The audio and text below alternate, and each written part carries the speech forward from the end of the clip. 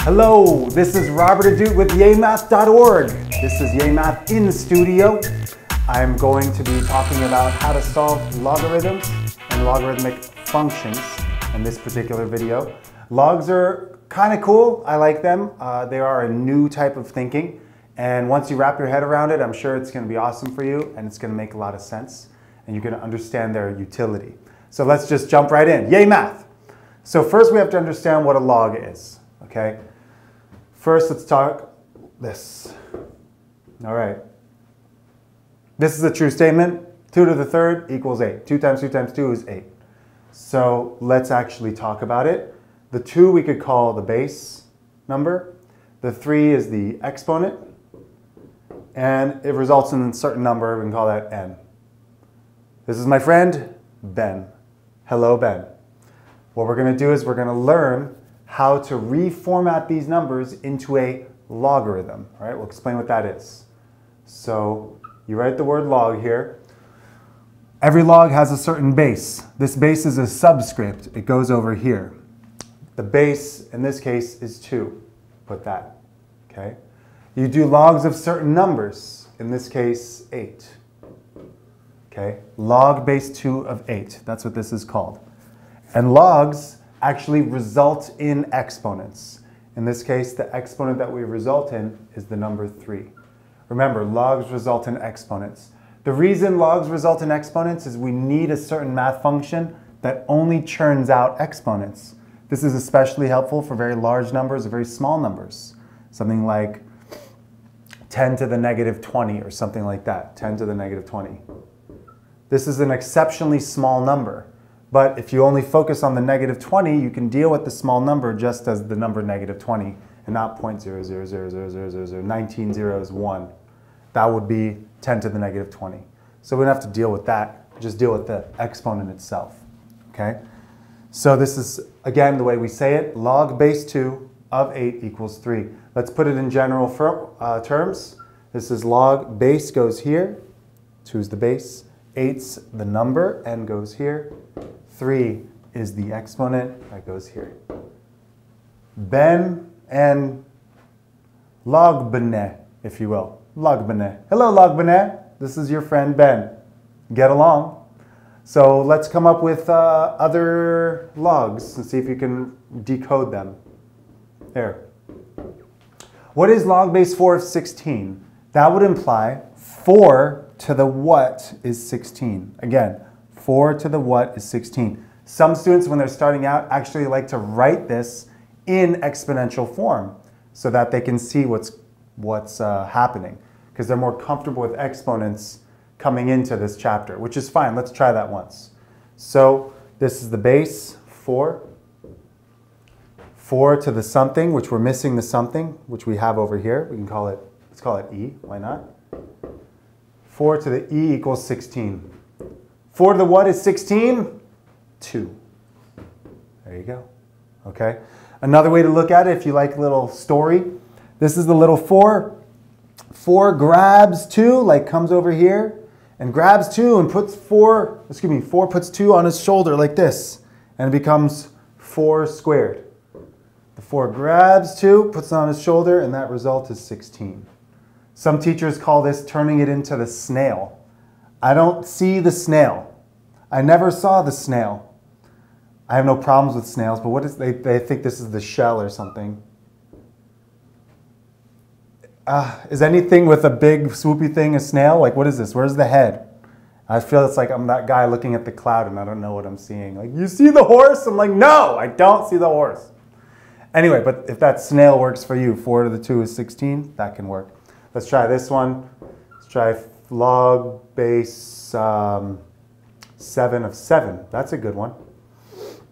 So 7 to the what is 7? 7 to the what is 7? That would be 1. In fact, would it be safe to say that anytime the base and the number are the same, the result would always be 1, right? We could even do it for any example here. This is log base 21 of 21. That means 21 to the what equals 21. And that would have to be 1 as well. That's something good to keep in mind. When the base and the number are the same, the exponent is always 1. That's great. Let's try by log bene. I gave this on an Algebra 2 test. A small but vocal minority had a problem with it. Something like this. No, it wasn't that one. Let's try that. That's what it was. Log base 99 of 1. So the reason it was a minority is that they didn't realize that it's just a simple conversion into exponents. If you wanted to turn it into an exponent, all right, it would be 99 to the e equals 1. All right, I got 99 exponents, and the number what ain't 1. What is this? You know? When the exponent is what? The number equals 1. That's 0. Anything to the zeroth power is always the number 1. Anything to the zeroth power is 1. Let's put that down. 5 to the 0, 10 to the 0, x to the 0, banana to the 0. This all equals 1. Okay, anything to the 0 is 1, including banana. Okay, so let's use this to solve some logarithmic functions. Let's try one, something like this. Let's go log base 8 of x equals 3 over, how about 2 over 3? That could be cool. 2 over 3. Yeah, that's good. So let's turn this into an exponent and we can see what's going on inside. Snail it! 8 to the 2 thirds is x. 8 to the 2 thirds is x. Now, multiple ways to solve this. One method is to use exponents to our advantage. Let's say I wanted to have 8 to the 2 thirds. Here it is. And instead of 8, I'm going to write I'm going to write 8 as an exponent. Okay? What is 8 written as an exponent? Something to the something that's 8. I meant to put this 3 here. Something to the something that's 8, that's 2 cubed you see over here. All right, powers to powers. These numbers will multiply, resulting in 1. So that's 2 squared is x. So this becomes 4. All right?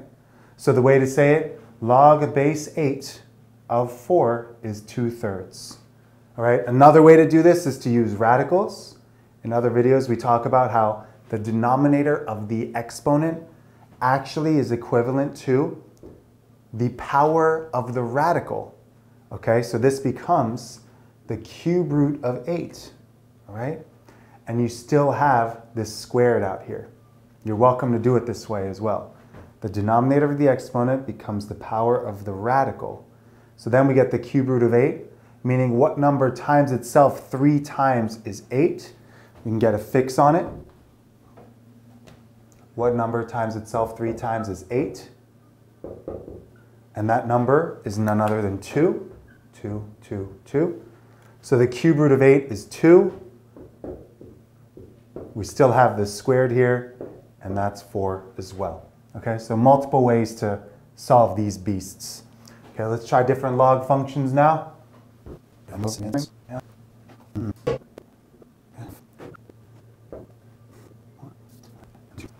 Okay, so let's try to solve these two log equations. Uh, first, what we can do is turn this into an exponent and deal with it. So this is the base, 1 fourth, to the negative 2 exponent equals x. Okay, fear not the negative exponent. If you recall, if you make an exponent negative to positive, the fraction switches its order, it becomes a reciprocal okay? So this negative exponent becomes a positive exponent and everything inside changes up, okay? That's based on this, this rule over here. x to the negative 2 equals 1 over x to the positive 2, okay? That's in a video called exponents if you want to brush up on that. So another method that we can do is if x to the negative 2 goes to the bottom and becomes x to the positive 2 downstairs, that would mean that it becomes its reciprocal. So that's exactly what we did inside here. Negative exponent becomes positive, reciprocate the fraction. And now we have 4 over 1, which is 4. Squared is 16. All right, x is 16 on this guy. All right, let's turn this into a exponent.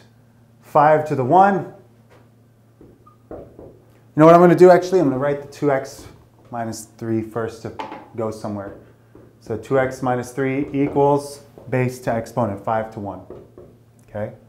And then that becomes 2x minus 3 equals 5. Add 3 to both sides. 2x equals 8. Divide both sides by 2. x is 4. Okay?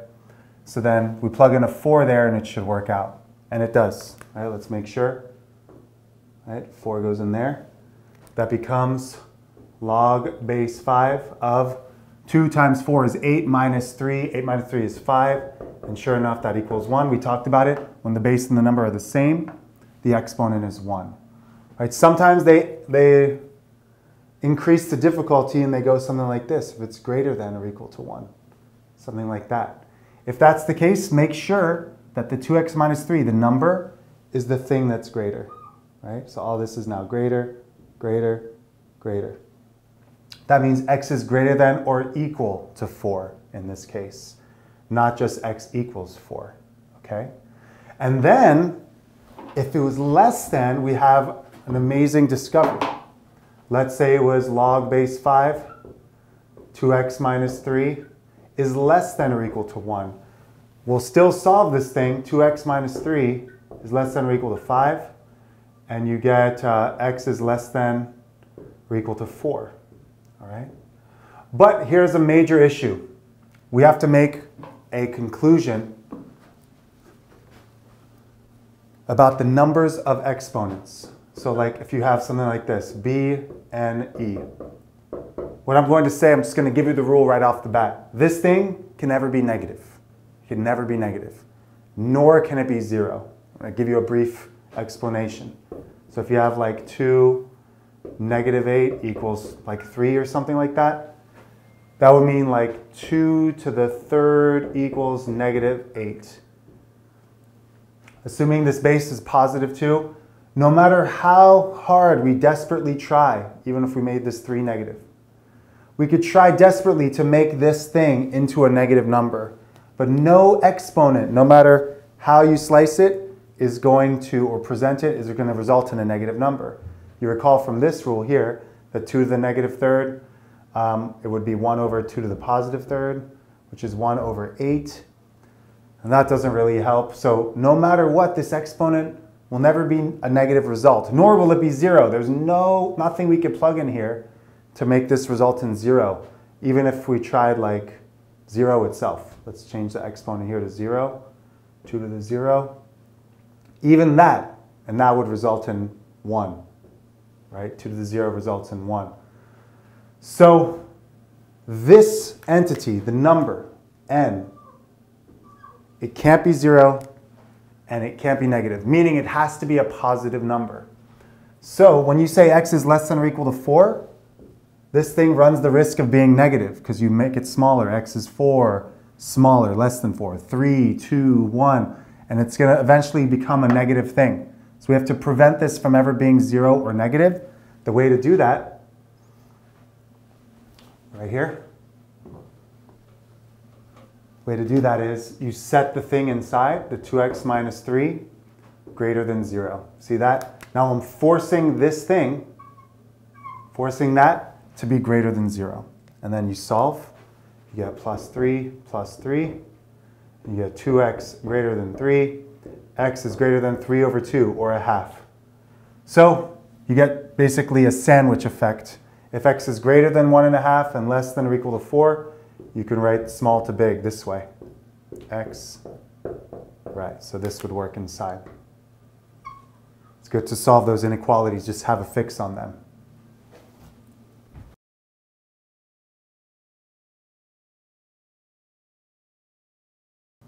Okay, great. So final two problems. The goal is to prove that this side equals this side to prove that this side equals zero, okay?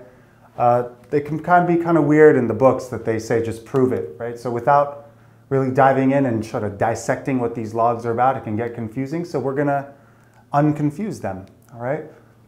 So let's prove these two sides are the same. Log base 4 of 16, meaning 4 to the what number is 16? 4 to what exponent is 16?